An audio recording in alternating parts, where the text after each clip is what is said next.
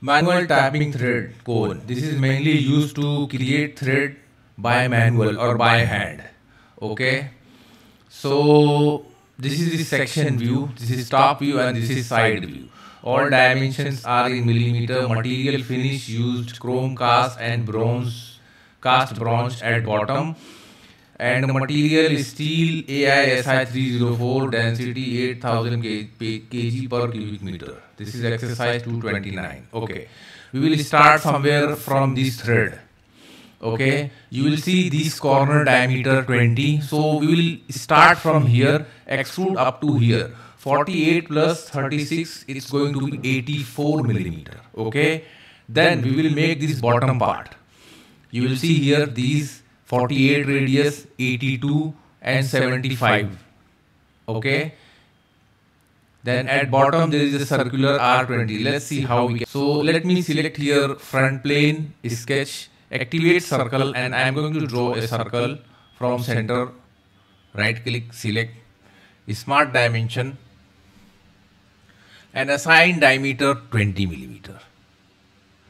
Activate extruded boss base Keep end condition blind and make length 84.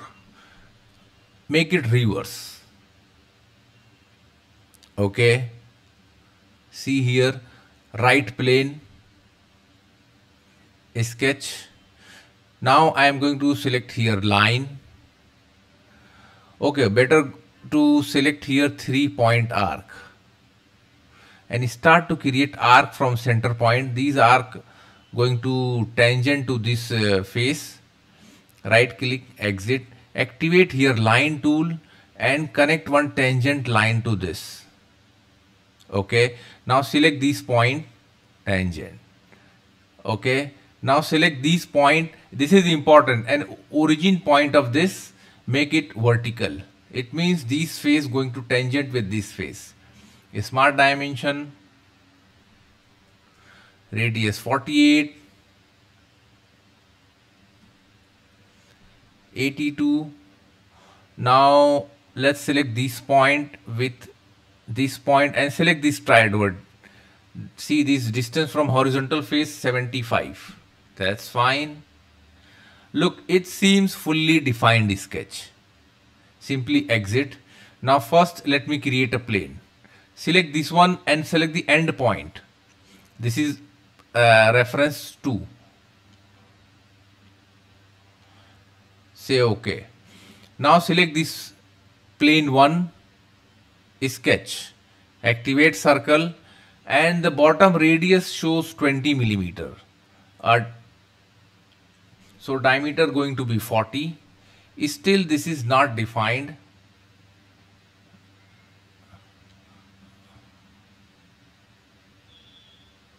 Select this origin point and the center point of circle, make relation coincident. That's fine. Now let me make it half. I want to make here half circle. So simply trim entity, power trim and delete this half circle. Fine. Go to feature and activate revolve boss base feature. Okay, let's check axis of revolution I am going to select this. I want half circle. So here keep end condition blind and angle only half of 360 but it should be reverse direction so I am going to change. Look. Say ok let me hide. Now let's connect these two. Lofted boss base. Now profile. Let me select this profile and this profile now here we have this curve. So center parameter, this is center line. So simply activate center line. We don't need guided curve, center line. Select this one and see. Now in this case, no need to define nodes. Keep this one as it is. But start condition or end condition. Start constraint, let's say tangent to face. Look, this is now these face going to tangent to this face. Uh, how how much uh, how long you need to keep? Let's say one millimeter tangent to face. This is phase two. 1 millimeter apply to all if there is more you can do it but uh, we have only one option so this one keep as it is okay let's come down merge tangent faces both faces going to merge merge result show preview that's it. And here we go. See? Now front plane. Okay. Now let's create this one. This is m40 into 3 so outer diameter we will keep 40 then we will cut thread. But before going to cut thread there is a tapered 30 degree. 40 minus 20 so 10 millimeter this one side. So we will apply 10 into 30 degree both side okay? Then we need to apply here 2460 so half circle is 12 so this is 12 and 60 let's see how. Now I am going to select front plane sketch circle. Draw circle with diameter of 40 now this diameter of 40 going to move up to 48 then here this diameter 24 this is going to move up to 80 uh, 36 remember this one. Extrude. Reverse. 48 okay.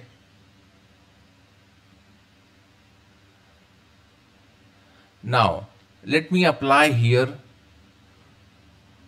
chamfer angle distance tangent full preview 10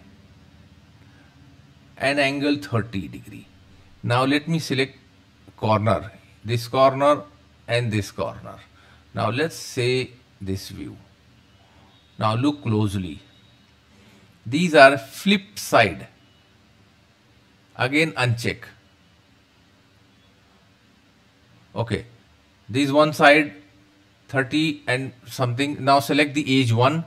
This is also select flip direction. See 30 now it's going to be perfectly 30 degree and 10 millimeter this upper edge. Okay. Say that's it.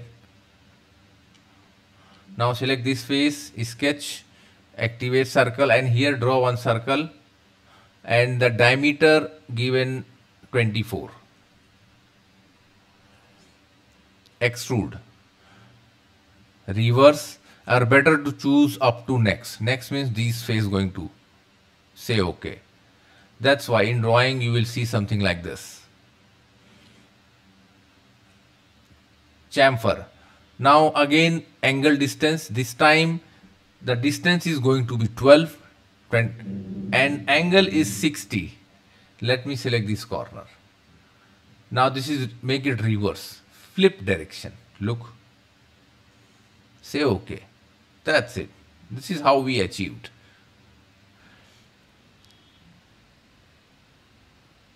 Thread. Okay. Now First, we need to edge where we are going to apply thread. So I am going to select this edge. Now start condition, there is one more option. You can start thread from where? So front plane, I want to start front plane. So here you can choose vertex. Vertex means origin. Look, this is the origin. Origin lies on front plane. Let's forward. Now I want to make thread up to how long? So I am going to select up to this age. We can select this one also, but uh, uh, you have to little extend this one. That's why I am going to keep uh, start and end condition outside of this cone. So that thread will properly cover. Now I want to cut thread. So here choose type metric die. Now M40 into 3. Now you will see here there is no M40. So simply choose the nearest one M40 into 3 and from here let's change the diameter. Fine 40. Fine. Pitch 3 millimeter. Now extrude cut thread because I want to cut thread. This is the right hand thread. Fine.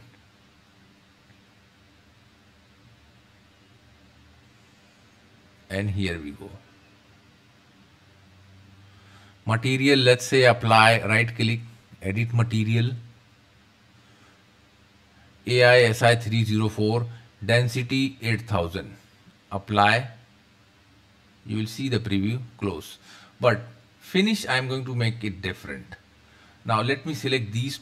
Okay better to choose first main finish chrome.